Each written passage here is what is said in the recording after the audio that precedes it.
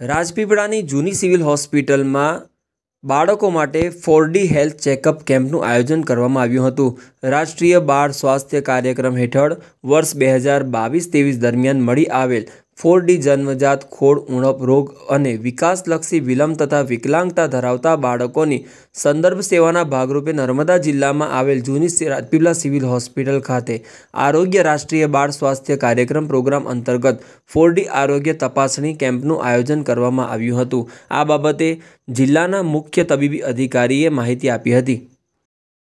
આપણી જે જૂની સિવિલ હોસ્પિટલ રાજપીપળા ખાતે જે નવું હેલ્થ એન્ડ વેલનેસ સેન્ટર શરૂ કરવામાં આવ્યું છે. એ પોલિક્લિનિકમાં ફોર ડી બાળકો માટેનો કેમ્પ રાખવામાં આવેલ છે.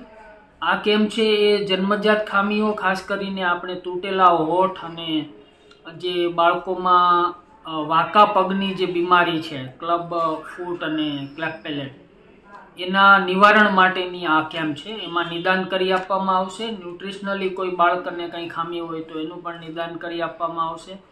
બાળકોના તમામ રોગોનું આજે અહીંયા પીડિયાટિશિયન ઓર્થોપેડિક સર્જન, તબીબી અધિકારીઓ, લેબોરેટરીની સુવિધા સાથે કેમ્પ રાખેલો છે.